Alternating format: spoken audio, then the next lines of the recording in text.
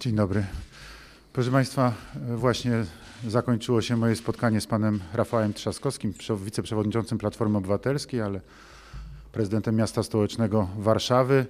E, cieszę się bardzo, że pan prezydent e, przyjął wreszcie zaproszenie. Wyraziłem żal, że nie spotkaliśmy się wtedy w wyborczy wieczór, kiedy zostały ogłoszone wstępne sondażowe wyniki wyborów, bo chciałem, żeby tamto spotkanie, niezależnie od tego, kto te wybory wygrał, miało taki charakter pewnego symbolu i żeby stało się polską tradycją na przyszłość, tradycją wyborów prezydenckich, że zwłaszcza wtedy, kiedy zostaje już tylko tych dwóch kandydatów i mamy do czynienia rzeczywiście z drugą turą wyborów i już jest to, jest to taki wybór albo albo, e, to żeby później właśnie po tej kampanii, która najczęściej jest e, w naturalny sposób, w oczywisty sposób, jak w każdej demokracji, znacznie mocniejsza, bardziej emocjonalna i, i, i, i no, wiemy o tym, że są te wielkie polityczne emocje bardzo często. Wszyscy tego przecież doświadczamy i obserwujemy. To, żeby tych dwóch kandydatów spotkało się i po zakończeniu kampanii, która jest takim specyficznym spektaklem politycznym, po prostu uścisnęli sobie, uścisnęli sobie rękę i żeby całe polskie społeczeństwo i wszyscy wyborcy widzieli, że można sobie po prostu podać dłoń normalnie, bo przecież tyle jest różnych konfliktów na tle politycznym w rodzinach, wśród przyjaciół, wśród znajomych. Przecież wiemy, że są te podziały, one są faktem. Trzeba robić wszystko, żeby starać się je zasypać. Taki gest podania dłoni dla mnie jest ważny i szkoda, że nie udało nam się zrealizować tego wtedy w wyborczy wieczór, żeby od razu pokazać, że trzeba te emocje studzić, że, że trzeba pokazywać, że mm, możemy być razem, że możemy się spotkać, że nie jesteśmy sobie obcy. E, ale cieszę się, że spotkaliśmy się dzisiaj no, w swoich rolach. Ja, moje, ja jako prezydent Rzeczypospolitej, pan, pan Rafał Trzaskowski jako, jako, jako prezydent miasta stołecznego Warszawy.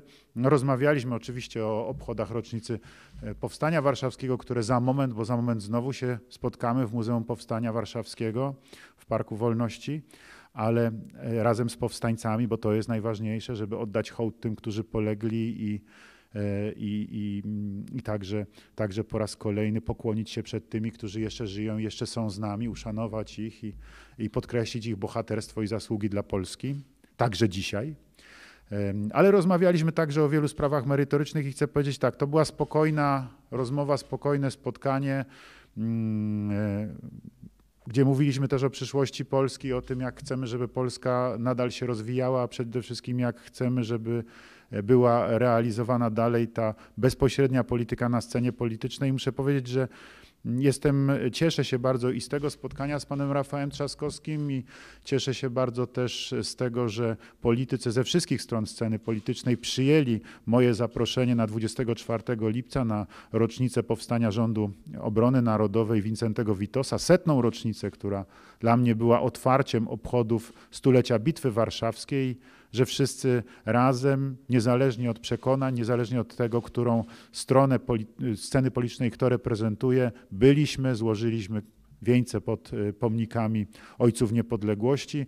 Spotkaliśmy się w Belwederze, odsłoniliśmy wspólnie, otwarliśmy salę w Belwederze imienia Rządu Obrony Narodowej Wincentego Witosa.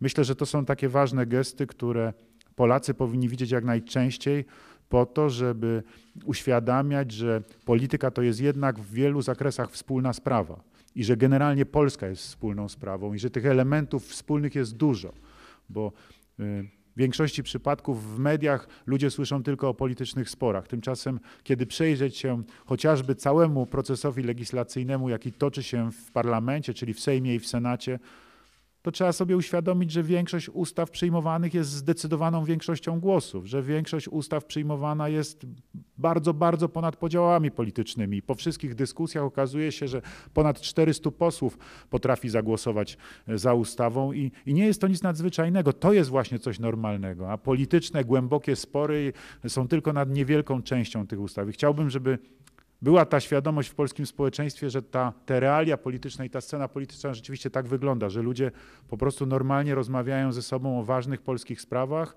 że umieją sobie podać rękę.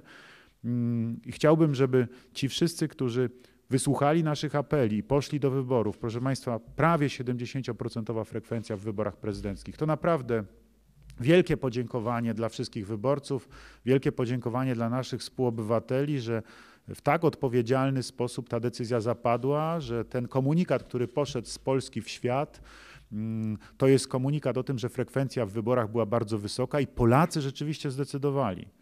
I to, jest, i, I to jest bardzo ważne, jestem za to ogromnie wdzięczny. A teraz e, jeszcze raz e, apeluję do wszystkich, e, stwórzmy w tych najważniejszych polskich sprawach taką swoistą właśnie koalicję polskich spraw. Starajmy się spokojnie działać tak, żeby, żeby w Polsce te najważniejsze kwestie toczyły się w dobrym kierunku. Mamy trudny czas, mamy czas y, cały czas trwającej pandemii koronawirusa, mamy cały czas trwające zawirowania gospodarcze, mamy bardzo wiele niepokojów. Jest także bardzo wiele niepokoju y, w, w rodzinach, chociażby o miejsca pracy, chociażby o, o to, czy uda się przetrwać firmie rodzinnej, którą, która jest prowadzona.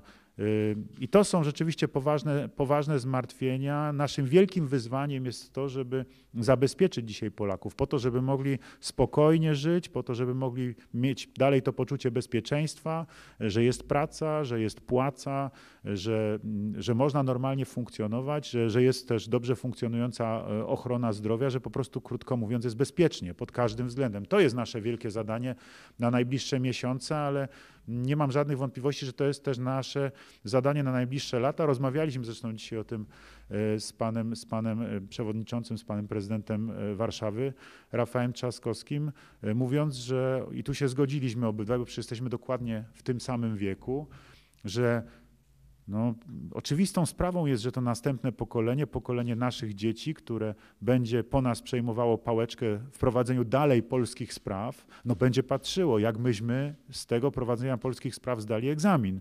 I my musimy mieć tą świadomość i musimy tak działać, żeby móc z podniesioną głową im tą Polskę kiedyś do dalszego, do dalszego rządzenia, do dalszego prowadzenia polskich spraw przekazać. Chciałbym, żeby tak było w przyszłości. Taki był duch tego spotkania, tak jak powiedziałem, bardzo spokojny, e, bardzo merytoryczny i mam nadzieję, że te najbliższe lata, które będą też naznaczone moją prezydenturą w Polsce dalej, będą właśnie takimi latami, które będą mogły pod znakiem takiej polityki upłynąć. Bardzo bym sobie tego życzył. Dziękuję bardzo. Dziękuję bardzo. Dziękuję Państwu za uczestnictwo.